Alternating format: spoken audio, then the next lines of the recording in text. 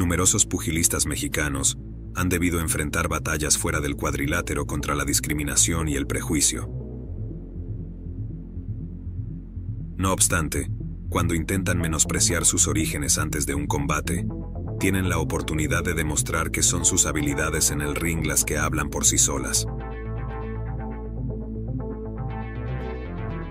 Julio César Chávez, Juan Manuel Márquez y otros han defendido el honor de los pugilistas de México al enfrentarse a oponentes que los subestimaron y buscaron humillarlos debido a su lugar de nacimiento. Uno podría suponer que la lección se habría aprendido desde entonces hasta hoy. Sin embargo, numerosos peleadores actuales siguen haciendo declaraciones polémicas basadas en prejuicios y estrechez de mente.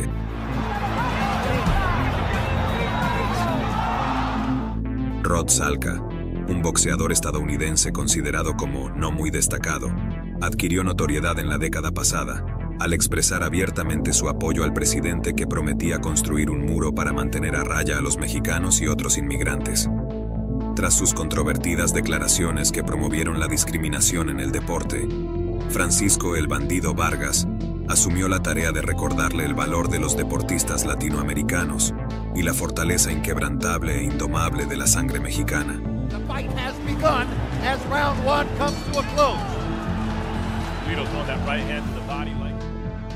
Te damos la bienvenida a un recorrido donde la política y el deporte se entrelazaron, dando lugar a una de las rivalidades más destacadas de los últimos años. Abrocha tu cinturón porque este viaje está por comenzar.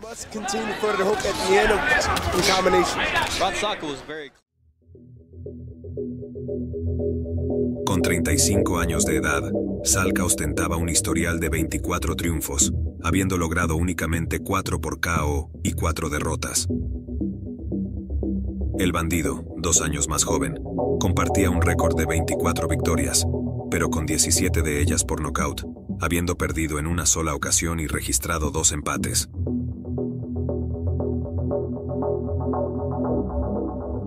La campana inicial marcó el inicio del enfrentamiento, y Salka parecía estar evaluando la defensa de Vargas, que se mantenía firme como un muro difícil de atravesar.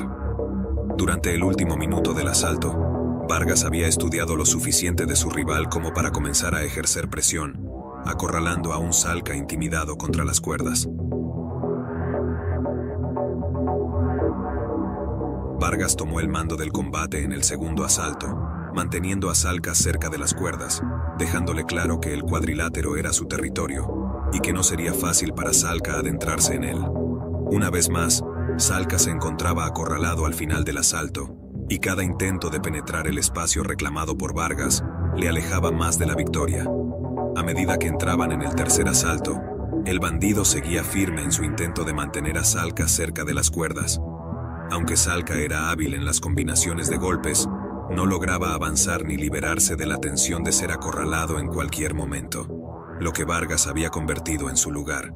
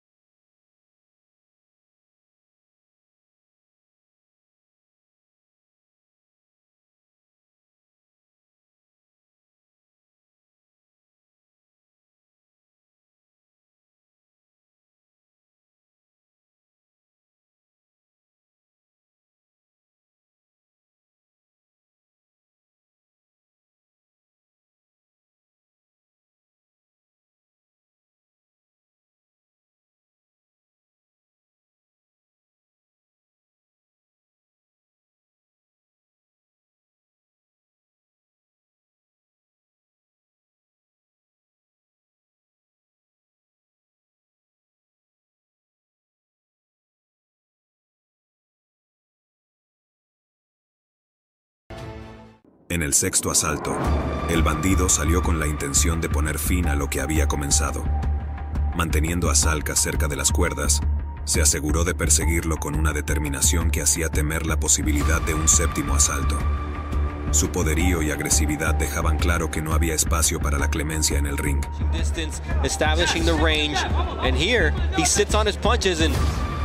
Finalmente, la esquina de Salca decidió poner fin al combate. No estaban satisfechos con el espectáculo y se retiraron antes de que un guerrero azteca dejara una huella imborrable en el cuadrilátero. La valentía de Salca por levantarse y enfrentar a su oponente era innegable, pero la superioridad de Vargas era indiscutible. La lección de respeto y humildad en el deporte quedó grabada en la mente de todos los presentes. El desempeño de El Bandido Vargas destacó la valentía y la tenacidad de la comunidad latina, así como su dedicación para alcanzar sus metas. También demostró que son capaces de enfrentar con éxito a quienes intentan menospreciarlos debido a su origen. Salca se retiró del cuadrilátero con una lección amarga, al aprender de un pugilista mexicano lo que significa ser un auténtico boxeador, mientras que sus propias declaraciones lastimosas quedaron en evidencia ante millones de personas. En el épico enfrentamiento entre Wilfredo Vázquez Jr. y Jorge el Travieso Arce, Dos maestros del noble arte se cruzaron en un enfrentamiento colosal. Esta contradicción en vivo, como la resistencia imparable frente al objeto inmovible, se hizo evidente en su encarnizada contienda. Dos colosos del globo, portando las banderas de sus respectivas naciones, se batieron en un duelo de nacionalidades que cautivó a seguidores alrededor del planeta. Estimado espectador, te extendemos una cordial bienvenida a otra emocionante entrega de boxeo de élite. Prepárate para sumergirte en esta narración apasionada y llena de habilidad, donde la gracia del boxeo se manifiesta en su forma más genuina. Con palomitas en tu mano te animo a adentrarte en este relato lleno de energía. La batalla entre Wilfredo Vázquez Jr. y Jorge Arce estaba programada para el 7 de mayo de 2011 en el majestuoso Grand Garden Arena de Nevada, Estados Unidos.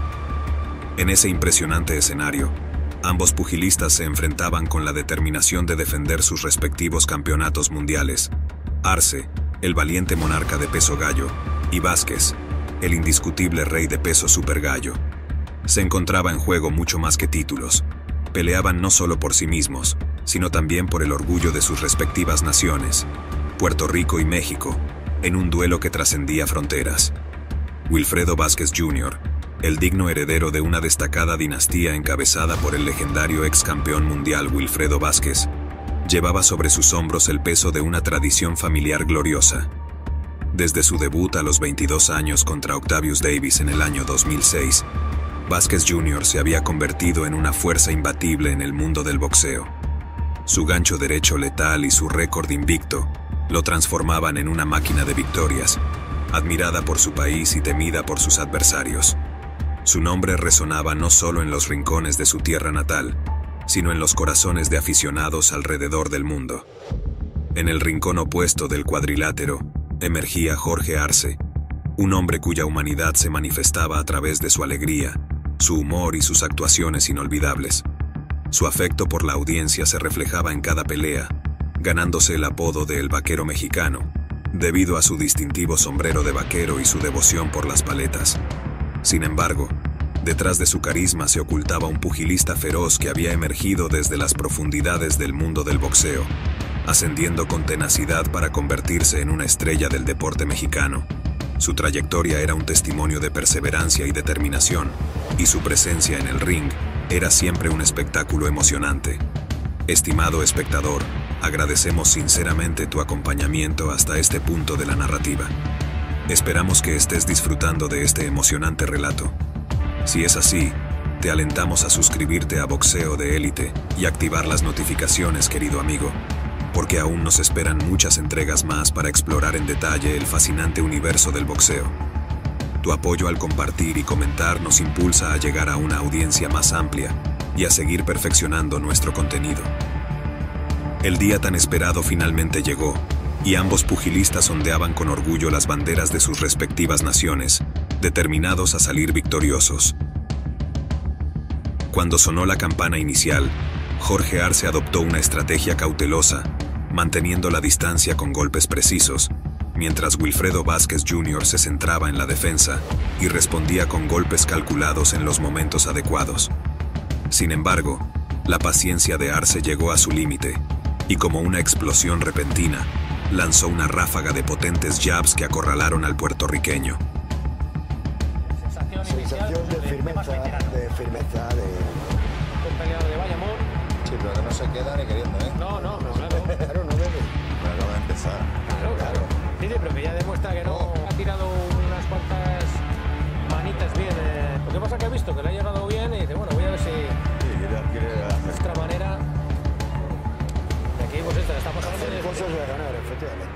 En el segundo asalto, el ímpetu inicial afectó a Vázquez, quien ante la agresividad de Arce, cambió de enfoque.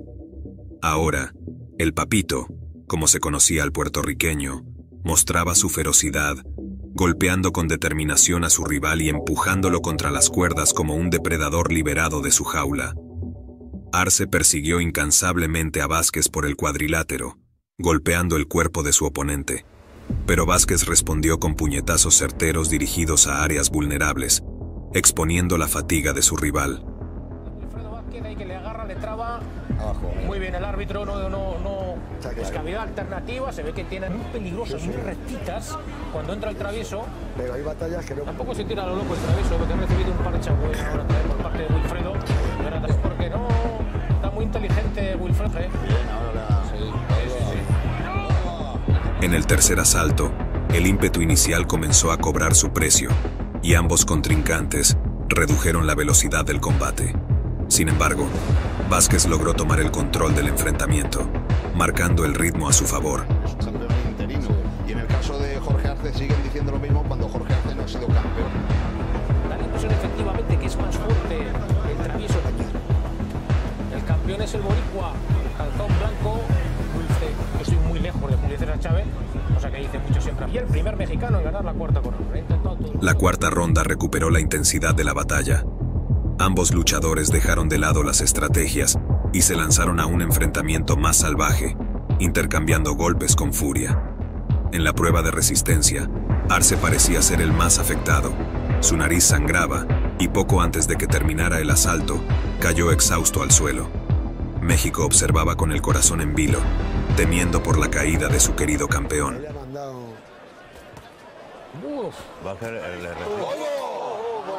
Eh, un intercambio terrible. En el quinto asalto, Jorge percibió los susurros que flotaban en el aire, anticipando su inminente declive. Como el renacimiento de un fénix, resurgió en la contienda, desplegando estrategias de resistencia meticulosamente elaboradas. Con combinaciones ingeniosas, el mexicano debilitó a Vázquez, derribándolo en dos ocasiones.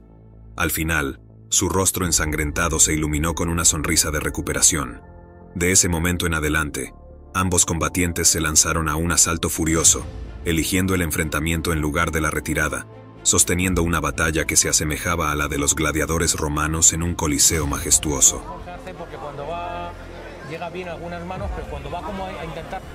Estamos hablando que el travieso Arce tiene un gran porcentaje de victorias por la distancia, ¿verdad? Cruzándose en manos.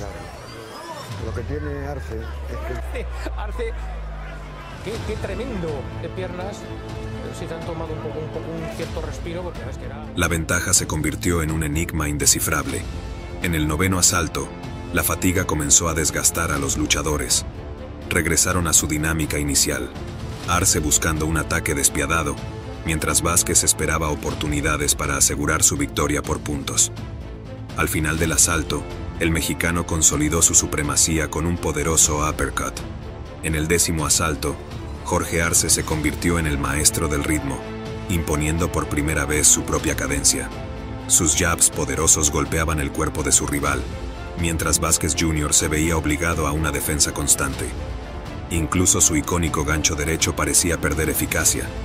Vázquez titubeaba bajo el impacto de los golpes. Un poco el pistón de Verarce, ¿verdad? se lo está como más listo, además. Eh, Sí, que le da. Que le da un poco de más. Arce ha bajado bastante, al menos que salga como debería ser los dos. Bueno, yo suelo decir eso de. Tiene un poquito menos armonía y él dice así, está frito como el palo chorrero, ¿quieres decir? no? Vázquez, enfurecido por su inferioridad, respondió de inmediato en el penúltimo asalto, conectando un preciso derechazo en el rostro de su oponente, seguido de un gancho izquierdo en el abdomen. Sin embargo, Arce contrarrestó con una ferocidad igualmente intensa. En un momento crucial, acorraló a Vázquez, golpeándolo sin piedad en el rostro, dejando al puertorriqueño en un estado de extrema vulnerabilidad. La humillación inicial que había experimentado se revertía, multiplicada, ante los ojos asombrados del mundo. Antes de que concluyera la ronda, Arce se derrumbó al suelo, visiblemente exhausto por la intensidad incesante del combate. Y eh, Wilfredo Vázquez, bueno, que se sigue. Está un poco frito ahí. eh. Wilfredo Vázquez eh, se tira a correr porque Jorge, el guerrero mexicano de los mochis. Una historia por la vía del cloroformo. Bueno, bueno. Bueno, casi se caen los dos, ¿eh?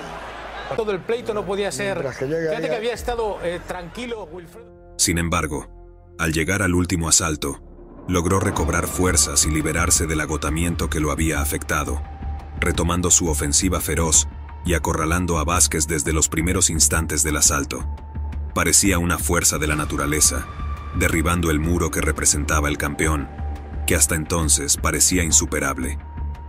En un contraste con los emocionantes intercambios previos, Vázquez permaneció estático, incapaz de responder a los formidables ataques. Después de soportar este tormento durante un minuto completo, el árbitro se vio compelido a intervenir y separar a los luchadores. Así culminó esta épica contienda, con Jorge Arce emergiendo como el vencedor indiscutible, conquistando los títulos mundiales en dos distinguidas categorías de peso y estableciéndose como el primer pugilista en derrotar al legendario Wilfredo Vázquez Jr. por nocaut técnico. De manera asombrosa, este logro se alcanzó a través de una dedicación incansable, sin recurrir a artimañas psicológicas ni trampas. Este día quedó grabado indeleblemente en la memoria del pueblo mexicano como un hito histórico y una victoria monumental que celebraron con orgullo y emoción. La noche culminó con una ceremonia de premiación donde Arce recibió los aplausos y el reconocimiento de la multitud, y Vázquez fue elogiado por su valentía y espíritu deportivo. Fue un enfrentamiento que trascendió el deporte y se convirtió en una leyenda que se transmitiría de generación en generación. Este emocionante combate demostró que en el noble arte del boxeo, la determinación, la pasión y la fuerza de voluntad pueden llevar a los atletas a logros verdaderamente extraordinarios. Esta victoria no se debió al azar en el caso de Jorge Arce. Continuó acumulando victorias y se convirtió en el segundo pugilista en la rica historia de México en ganar títulos mundiales en cuatro distintas categorías de peso, apenas dos meses después del logro de Eric Morales. Este hito demostró que Arce no era simplemente un personaje, como algunos sugirieron en el pasado. Por otro lado, Wilfredo Vázquez encontró su redención después de esta derrota, aunque nunca pudo recuperar un título de campeón. A pesar de eso, su nombre quedó inmortalizado en los anales como una leyenda de Puerto Rico.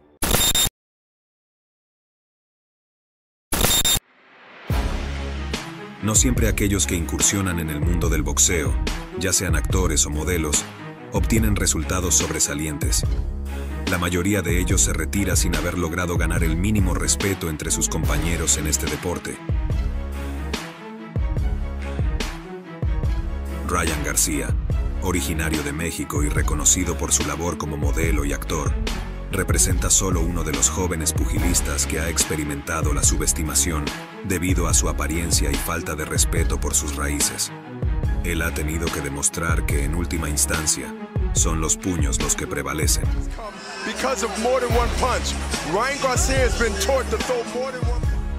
Adéntrate en una nueva travesía de boxeo élite mientras acompañamos a Ryan García, quien se mantuvo firme en su posición al enfrentarse a Braulio Rodríguez bajo la presión de que el destino de cualquiera de ellos podría cambiar dependiendo del resultado del combate.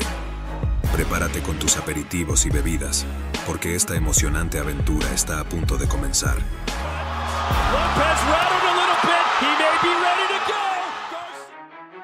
Braulio Rodríguez, comúnmente conocido como El Chavo, surgió como una destacada figura del knockout, que dio sus primeros pasos en el ámbito del boxeo en Santo Domingo, República Dominicana. A pesar de su apodo, su personalidad distaba de ser tan afable como el personaje televisivo al que hacía referencia. Rodríguez no solo se destacaba por su prepotencia y vanidad, sino también por su elocuencia antes de cada enfrentamiento. Su naturaleza fanfarrona lo llevó a proclamar con seguridad que derrotaría a Ryan García, y durante varios días, ambos contendientes se enzarzaron en una serie de intercambios de insultos y desaires, que culminaron en un enfrentamiento físico previo a su combate. La confianza que depositaba en sí mismo era tan sólida que creía estar en posición de poner fin a la carrera de una de las mayores promesas que México tenía en el mundo del boxeo, a pesar de no haber logrado aún el reconocimiento de un púgil de élite en este deporte. Antes de su enfrentamiento con Ryan, Rodríguez había acumulado un total de 19 victorias en su historial, aunque es importante señalar que todas estas habían sido obtenidas a expensas de oponentes sin experiencia, que no alcanzaban los estándares mínimos de competencia en el cuadrilátero. En los casos en los que no se medía a boxeadores con un historial plagado de derrotas, solía elegir adversarios con un perfil similar al suyo, lo que reflejaba un nivel de competición bastante bajo. Esta historia destaca el choque de personalidades y la rivalidad que se desarrolló entre Rodríguez y García, y cómo el mundo del boxeo estaba a punto de ser testigo de un enfrentamiento épico que podría cambiar el curso de la carrera de ambos pugilistas.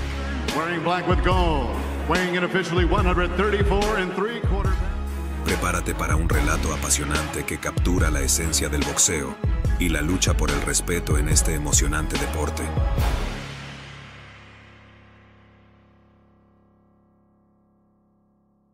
Sin embargo, su orgullo desmedido y su terquedad inquebrantable lo condujeron a aceptar un enfrentamiento con Ryan García, quien, a pesar de no contar con el mismo número de victorias en su historial que Rodríguez, ya era reconocido como una de las promesas más destacadas del boxeo contemporáneo. García, en aquel momento, apenas tenía 20 años de edad, pero ya se encaminaba hacia la cima como la próxima gran estrella del mundo del boxeo. Su determinación incansable lo convertía en un candidato ideal para seguir los pasos del legendario Canelo Álvarez, y tanto promotores como organizadores estaban dispuestos a respaldar su ascenso. El negocio que se cernía alrededor de Ryan García estaba bien estructurado. Además de sus logros en el boxeo, su popularidad se cimentaba en su sólida presencia en las redes sociales y su trabajo en la actuación y el modelaje. A pesar de no estar catalogado entre los mejores púgiles a nivel mundial, era indiscutiblemente uno de los principales generadores de ingresos y vendedores de boletos en el deporte. Para García, el enfrentamiento contra Rodríguez representaba una oportunidad dorada para acumular experiencia en el ámbito profesional. No obstante, esta oportunidad pasaba desapercibida para Braulio, quien estaba convencido de su capacidad para arruinar los planes de Ryan y desafiar a todos aquellos que creían que un joven de ascendencia mexicana podría derrotarlo y llegar a ser uno de los pugilistas más afamados de la época.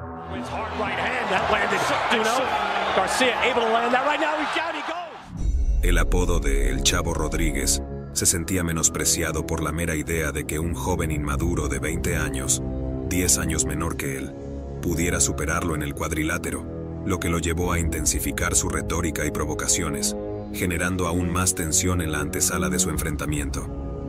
Voy a darle una lección a ese joven, y le mostraré lo que significa enfrentar a un hombre sin temor.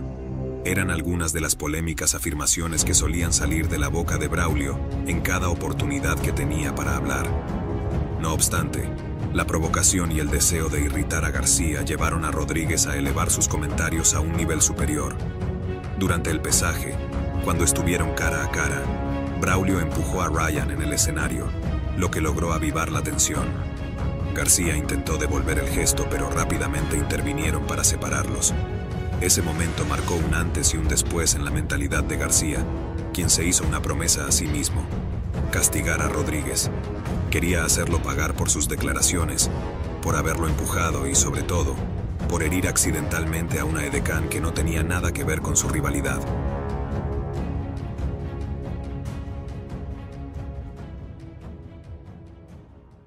De esta manera, los dos púgiles ascendieron al cuadrilátero con la responsabilidad de respaldar sus palabras con acciones, determinados a dejar que sus puños decidieran quién sería el último hombre en pie.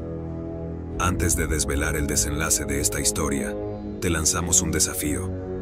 Tómate unos segundos y escríbenos en los comentarios tu predicción sobre quién crees que se alzó como vencedor en esta encarnizada batalla. Una vez que lo hayas hecho, no podrás editar ni eliminar tu comentario.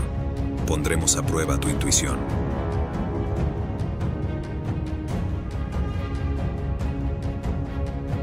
Con ambos boxeadores ya en el cuadrilátero, sonó la campana que marcaba el inicio del primer asalto. Rodríguez desplegó la táctica que le había dado fama, emplear su puño izquierdo como señuelo para buscar la oportunidad de conectar un potente derechazo en su oponente.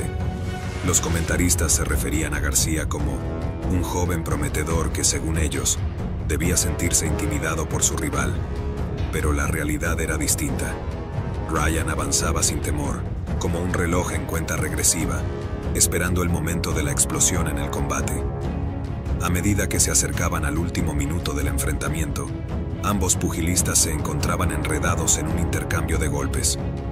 Cuando finalmente se separaron, Braulio cometió el fatal error de descuidar su guardia.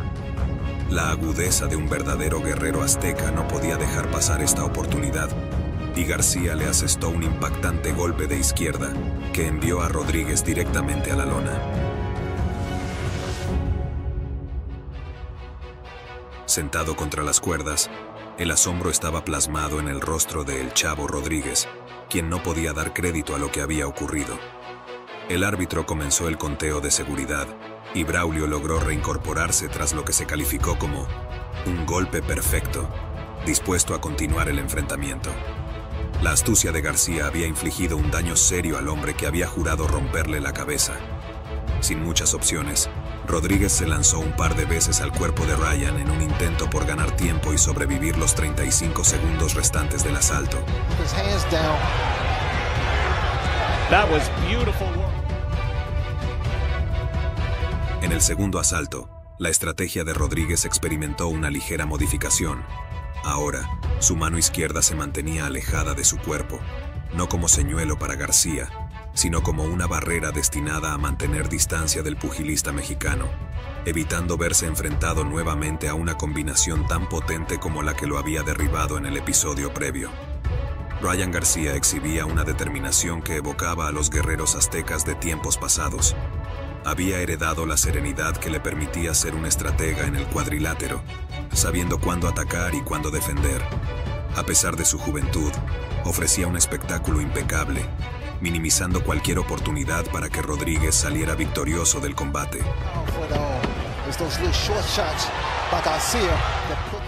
Al comienzo del tercer asalto, los comentaristas ya habían transformado su narrativa del enfrentamiento. Pasaron de considerar a García como el joven que debía temer a describirlo como un boxeador agresivo e invulnerable, en virtud de su desempeño en los dos primeros asaltos. A menos de dos minutos para el final del tercer asalto, Rodríguez optó por provocar a García. Bajó su guardia, se plantó frente a él y desafió a Ryan a lanzar un golpe. Sin embargo, García no se dejó llevar por la provocación, demostrando su conocimiento y respeto por las artes marciales al evitar un posible contraataque que pudiera ponerlo en peligro. Garcia just looks excellent. I mean, it's the, the right hand to the body, a wicked hook.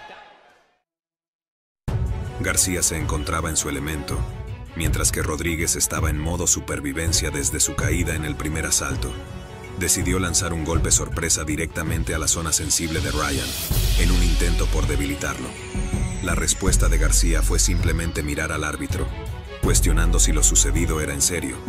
Para cerrar el tercer episodio, Ryan acorraló hábilmente a Braulio contra las cuerdas y le recordó el poder de sus puños.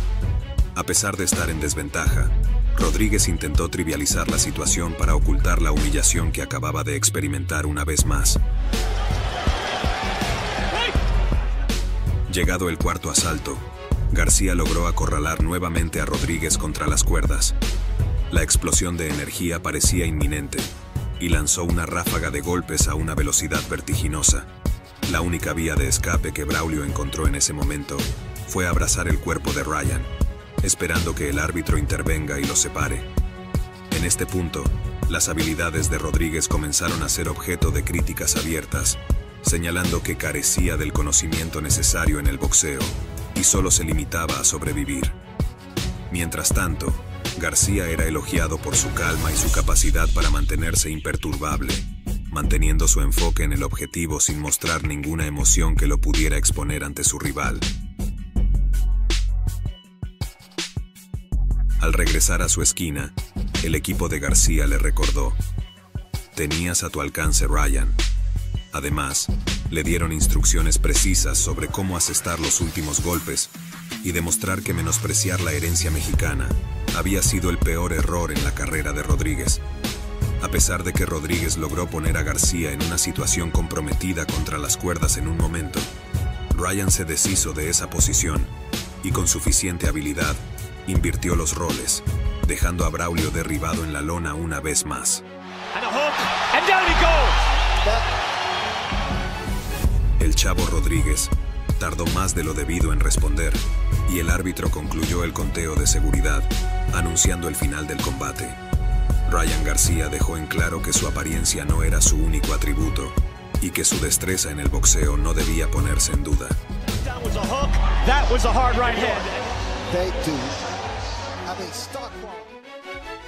La audiencia observaba asombrada cómo García, con su destreza y su madurez a pesar de su juventud, había demostrado ser un rival formidable, capaz de mantener su compostura en el cuadrilátero y ejecutar una estrategia impecable. En contraste, la imagen de Rodríguez se desvanecía, siendo percibido como un púgil que carecía de la profundidad de conocimientos necesaria para competir al más alto nivel. La experiencia y el temple de García eran evidentes, destacando su habilidad para leer la situación, encontrar oportunidades y mantener su distancia cuando fuera necesario. En ese momento, ya no se le veía como el chico asustado, sino como un pugilista agresivo e intrépido. El combate se había convertido en un testimonio de la fuerza y la valentía de García, así como de su habilidad para no dejar que las provocaciones de Rodríguez lo desestabilizaran emocionalmente. Estaba claro que Ryan García se había ganado el respeto de todos en ese ring y que su legado como boxeador estaba en constante crecimiento. El enfrentamiento se había vuelto mucho más que una simple pelea de boxeo. Era una prueba de determinación, habilidad y carácter. Los espectadores se preguntaban quién sería el vencedor, pero lo que estaba claro era que Ryan García había demostrado ser un competidor feroz y una promesa del boxeo que nadie debía subestimar. García concluyó el enfrentamiento con una celebración y un gesto de respeto hacia una de las edecanes, reconociendo el trabajo que desempeñaba, especialmente después del incidente en el pesaje. Mientras tanto, Rodríguez requería atención médica urgente para evaluar el alcance de los daños que el joven del que se había mofado le había infligido.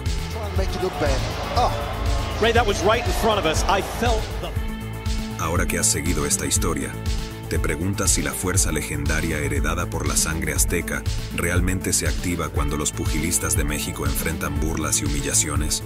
¿O tal vez consideras que Rodríguez es simplemente uno de los boxeadores que ocasionalmente experimenta momentos de buena suerte?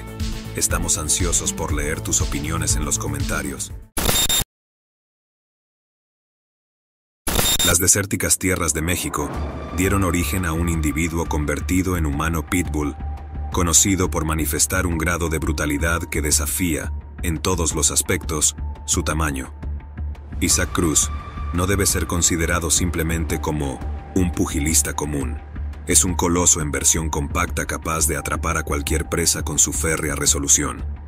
Quienes no logran escapar se ven sometidos a un abrazo tan firme y devastador como el mordisco de un pitbull. Estaba destinado a emerger de la oscuridad para enfrentarse a rufianes del calibre de Gervonta Davis. En lo que no sería una pelea corriente, se vivió un antes y un después que quedó registrado tanto en las páginas de la historia como en el corazón de los seguidores.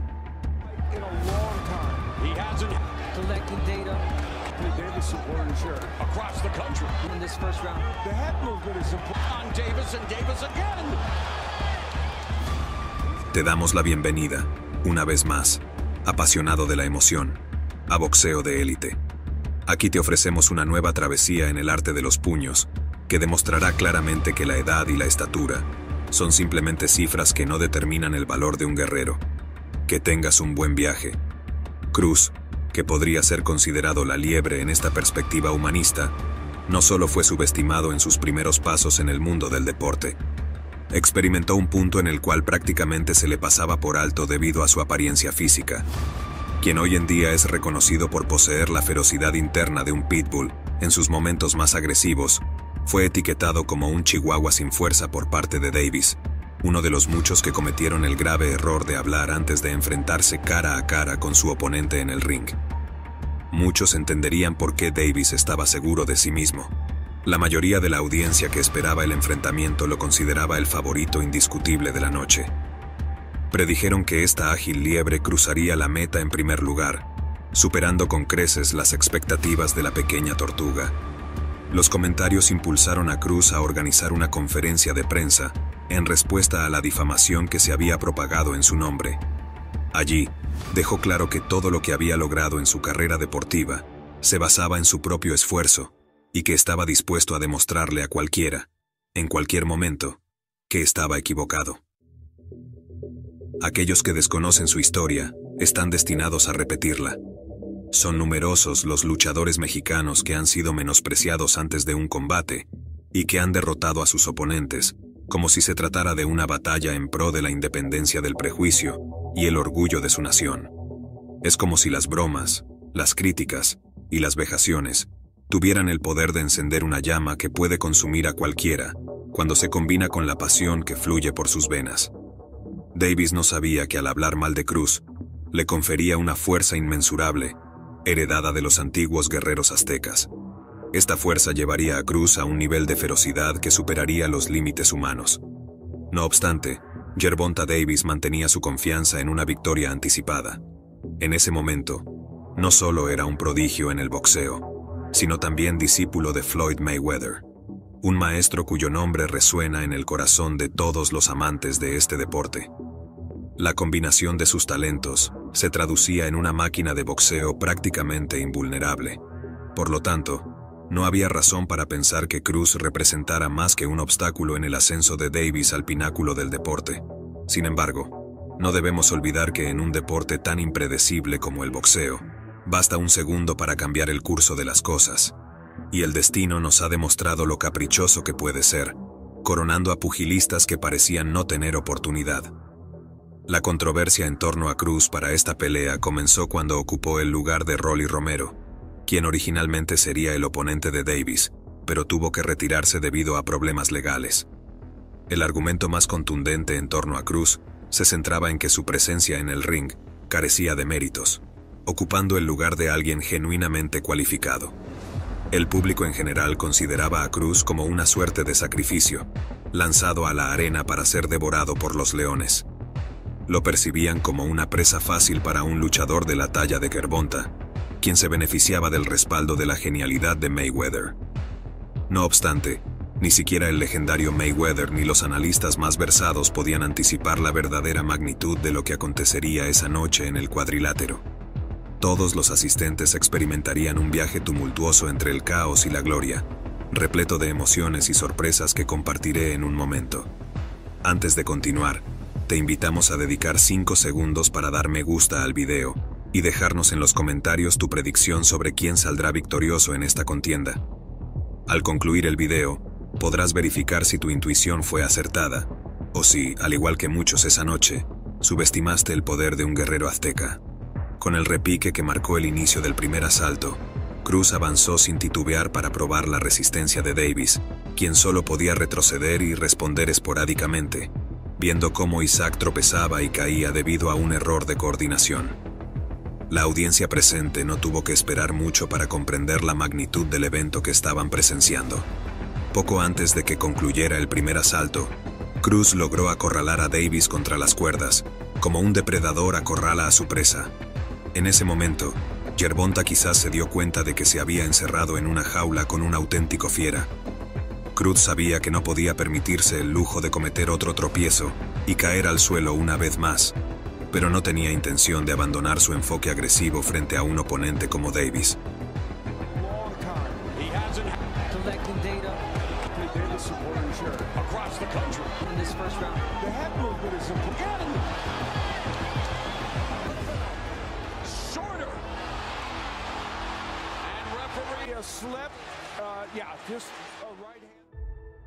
En los siguientes dos asaltos, su astucia le permitió obtener avances significativos, aunque también recibió contraataques importantes por parte de Gervonta.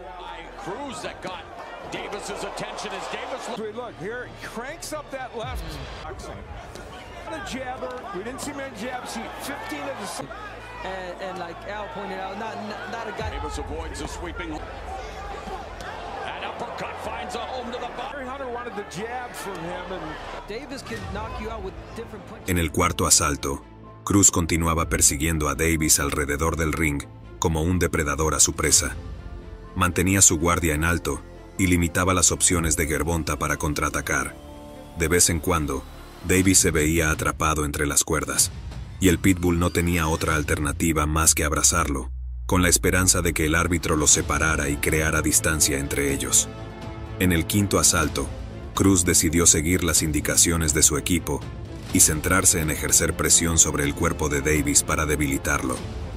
Es una táctica que el formidable Mike Tyson utilizó repetidamente cuando se enfrentó a oponentes más altos y podría dar resultados una vez más.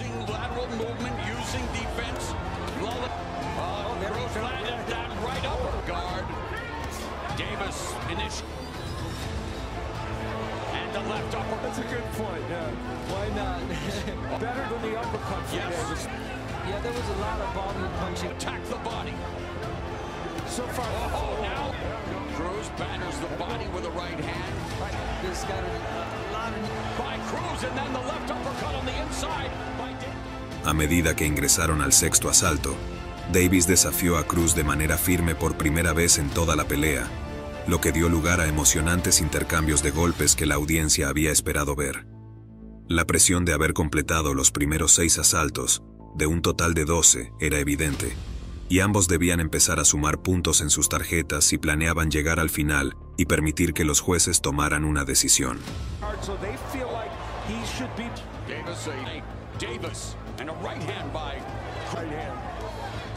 Oh, Davis was right there. Yeah. Punches and El séptimo asalto no fue sencillo para Cruz. Aunque logró conectar algunos golpes importantes al cuerpo de Davis, Gervonta demostró su resistencia y fuerza, lo que lo había llevado hasta ese punto. Si Cruz realmente deseaba vencer a un rival de la talla de Gervonta, que no solo era fuerte sino también resistente, necesitaba repensar su estrategia y conectarse con la fuerza del guerrero azteca que fluía en sus venas. El segundo tropiezo de Cruz ocurrió al comienzo del octavo asalto, cuando su ansia de encontrar una oportunidad para derrotar a Davis lo hizo tropezar y caer nuevamente al suelo. La audiencia no podía creerlo. Parecía que el Pitbull estaba volviéndose menos preciso en sus movimientos, lo que brindaba a Gervonta una ventaja evidente de cara a lo que quedaba de la pelea. La presión que recaía sobre Cruz era abrumadora. Si cometía errores que lo hicieran parecer un oponente inferior y entregaba la pelea, estaría validando las críticas de quienes afirmaban que no merecía estar en ese enfrentamiento. Sin embargo, el Pitbull tenía la capacidad de levantarse sin importar cuántas veces tocara el suelo.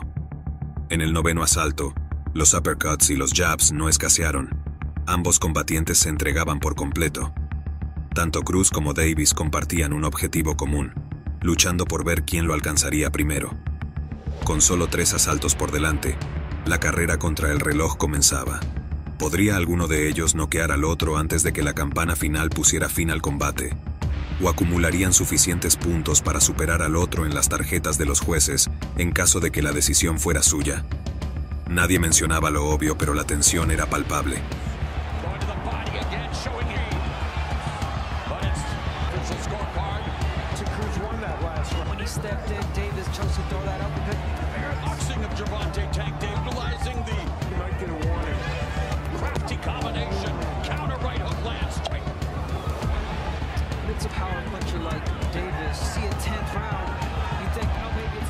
El décimo asalto, Davis disfrutó de un breve momento de gloria al principio, pero pronto se vio atrapado en el caos.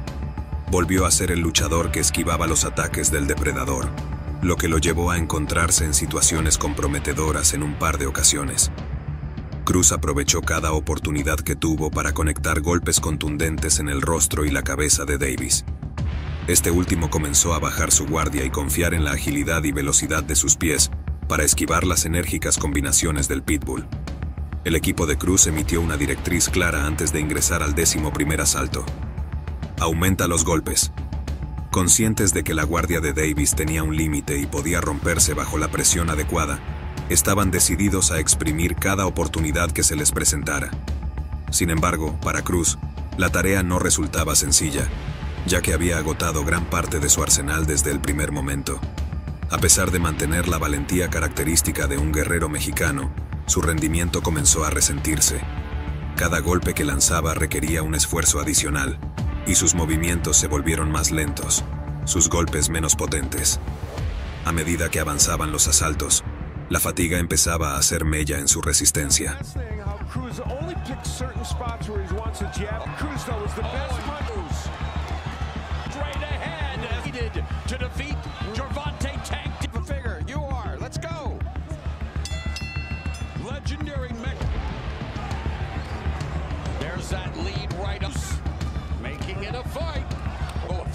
Left here in the 11th. First round. Use the jab, and he's only using the jab right now.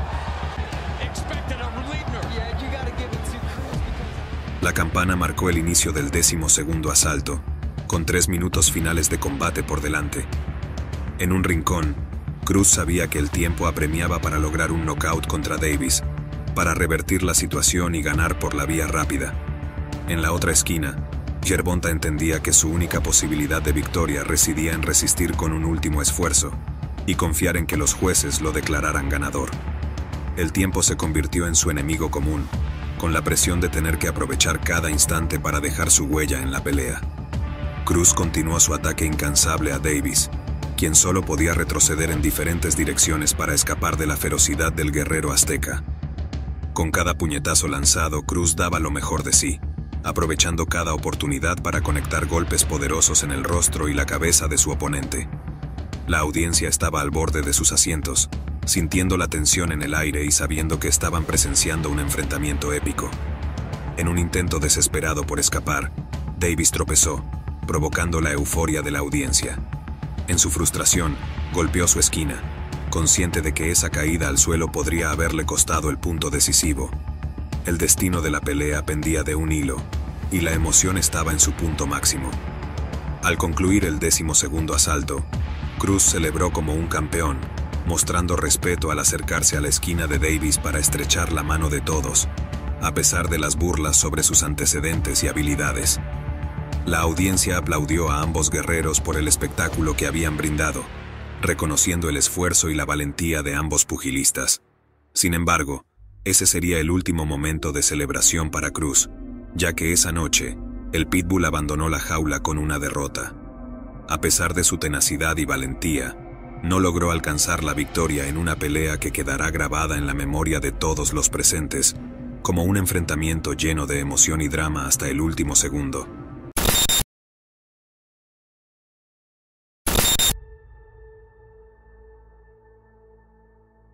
Dentro del competitivo mundo del pugilismo, los boxeadores frecuentemente emplean un discurso contundente en su afán por atraer la atención de los medios. Sin embargo, hay quienes optan por mantenerse al margen de estas estrategias verbales, como el honorable Pipino Cuevas. La sagacidad del combatiente se desvaneció cuando Ángel Espada, desoyendo las advertencias, cometió un error de dimensiones épicas. El resultado fue un enfrentamiento caracterizado por una enconada rivalidad histórica entre naciones. Les damos la bienvenida, distinguidos radioescuchas, a una nueva edición de Boxeo Élite, donde nos sumergiremos en una emocionante travesía. En el Rincón Rojo, destacaba la figura imponente de Pipino Isidro Cuevas González, un púgil prodigioso originario de México que irrumpió en el escenario del boxeo como un fenómeno completamente inesperado. Su trayectoria se comenzó a forjar desde temprana edad, a partir de los 14 años, y su ascenso meteórico fue tan vertiginoso como el destello de las estrellas en una noche despejada. En un contraste marcado con la mayoría de sus colegas, Cuevas optó por la elegancia en vez de las estratagemas provocativas, demostrando un respeto inquebrantable hacia sus rivales y relegando cualquier enfrentamiento verbal al cuadrilátero. En el rincón azul se encontraba Ángel el Chino Espada, un guerrero tenaz proveniente de Puerto Rico, cuya destreza se fundamentaba en su estilo evasivo y una resistencia impresionante. Ostentando con orgullo el título de campeón de peso welter junior, Espada representaba un desafío formidable. Las disparidades palpables entre ambos púgiles eran tan notorias como la distinción entre la noche y el día, como la incompatibilidad entre el agua y el aceite, y como la dualidad del yin y el yang, creando así una tensión casi palpable en el aire.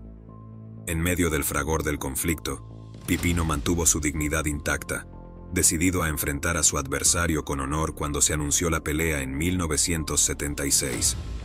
Sin embargo, su determinación fue sometida a prueba cuando el chino se dedicó a difamarlo en programas radiales, desestimando la pelea como una pérdida de tiempo frente a alguien tan supuestamente mediocre como Pipino. A pesar de la ira que esto suscitó en Pipino, él, trascendiendo la mera condición de guerrero, demostró ser un auténtico caballero. Optó por el silencio, dejando que cada uno de sus golpes hablara en su nombre, aferrándose a su sólido código de honor. Bajo la superficie aparentemente serena, se gestaba un conflicto ancestral profundo entre México y Puerto Rico, dos enemigos naturales en el ring desde hace décadas. Los puertorriqueños veían a los mexicanos como salvajes predecibles, mientras que los mexicanos tachaban a los puertorriqueños de cobardes debido a sus tácticas evasivas. Esta rivalidad no se limitaba a una mera cuestión de individuos, era un choque cultural y nacional que exacerbaba las tensiones entre ambas naciones. Permítanme interrumpir momentáneamente este relato. Si están disfrutando de esta experiencia, les instamos cordialmente a que tomen un breve instante para compartir, dar su me gusta y comentar. Su apoyo es la fuerza impulsora que sostiene y motiva a nuestro dedicado equipo de boxeo élite, permitiéndonos continuar brindándoles contenido de calidad. Ahora, sin más preámbulos, regresemos a sumergirnos en esta emocionante crónica de gloria y redención en el cuadrilátero. Al resonar la campana, la impotencia y furia contenidas en Pipino se desataron en impactantes jabs durante la primera ronda, forzando a el chino a retroceder. La soberbia del puertorriqueño, antes inquebrantable, se desmoronaba frente a la justicia del destino. Solo le quedaba resguardarse y esperar una ocasión para contraatacar con astucia vivos blancos. Los dos boxeadores cuando Pipino conecta bien, recto de derecha, cruzando San Juan, Puerto Rico, ahí cuando Pipino empieza a carburar. Espada, un boxeador que generalmente se a distin, tremendo percate zurda. La mano izquierda, la mano brava de Pipino Cuevas trabajando rápidamente. De ese knockout tremendo que le propinara Pipino Cuevas allá en la ciudad de En las rondas subsecuentes, Pipino se transformó en una máquina bélica alimentada por un resentimiento puro. Sus movimientos agresivos y complejos dejaban a Ángel Espada sin oportunidad de responder, relegándolo a una defensa desesperada. A pesar de su escudo, nada podía frenar los golpes de Pipino. Un uppercut lo derribó, colocándolo al borde del knockout. prácticamente sobre la planta de los pies. Castigo ahora sí, empieza a usar su técnica. La pelea que se esperaba se efectuara con mucho tiempo más de anterioridad, sin embargo 977. Ahí está rápidamente Pipino envía la lona a... En el quinto asalto, el chino evidenciaba debilidad mientras Pipino, aunque fatigado, mantenía una defensa casi impenetrable. Sin embargo, la fatiga restó velocidad al mexicano, permitiendo que su oponente conectara algunos golpes. Yendo hacia adelante, Cholo Espadas trata de ir hacia atrás, pero sin velocidad. Aunque no le dura de pie mucho a Pipino porque Pipino precisamente no tiene velocidad. Ahora sí lo prendió muy bien el Cholo Espadas, la manera de entrar con sus golpes. En el sexto asalto, ambos parecían igualados por primera vez. Intercambiaron golpes, y Pipino tuvo que protegerse para evitar daños significativos. A pesar de recibir algunos golpes, Pipino resistió. En el séptimo asalto, la debilidad mostrada previamente por Pipino se transformó en fortaleza. Recuperó su energía y atacó ferozmente a El Chino, acorralándolo contra las cuerdas y golpeándolo sin piedad. La estrategia empleada por el chino al inicio del combate se revertía de manera brutal.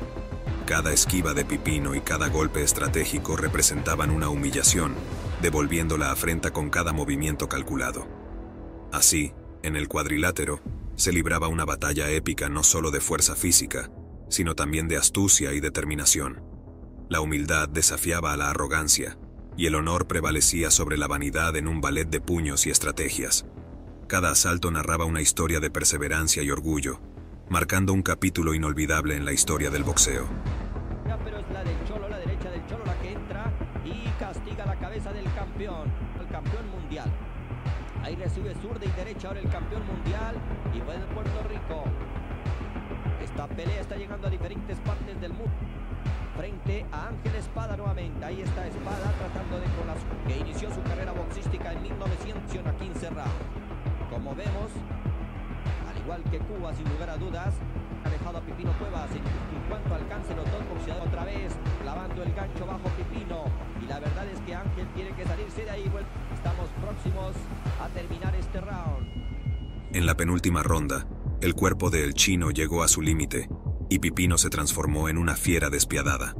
Con impresionante rapidez, ejecutó combinaciones de golpes devastadores, fracturando la mandíbula de su rival.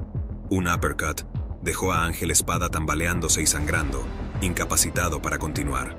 Su equipo detuvo la pelea para evitar una tragedia, proclamando a Pipino Cuevas ganador por nocaut. Aunque Pipino Cuevas perdería su título de campeón años después ante Thomas Hearns, logró una victoria que redimió a su país de décadas de sufrimiento.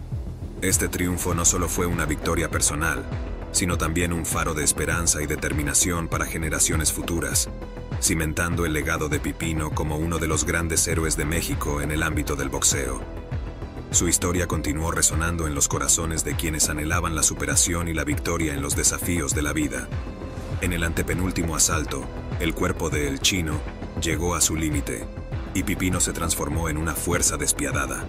Con asombrosa rapidez, ejecutó secuencias de golpes devastadores, fracturando la mandíbula de su adversario.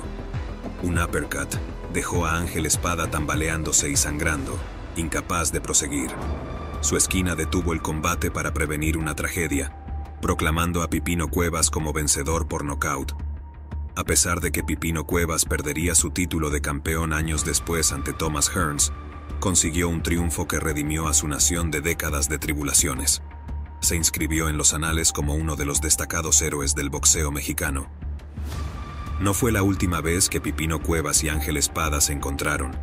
Se enfrentaron en dos ocasiones más, y Pipino salió triunfante en ambas, dejando a Espada incapacitado en el segundo asalto en una de ellas. Evidenció que la determinación, independientemente de los orígenes, tenía el poder de superar al campeón más destacado. Con esto concluimos, apreciados seguidores de boxeo élite. Esperamos que hayan disfrutado de esta epopeya protagonizada por el honorable Cuevas. Para más relatos cautivadores del ámbito boxístico, les extendemos la invitación a explorar nuestro canal. Hasta la próxima, nos vemos sobre el cuadrilátero.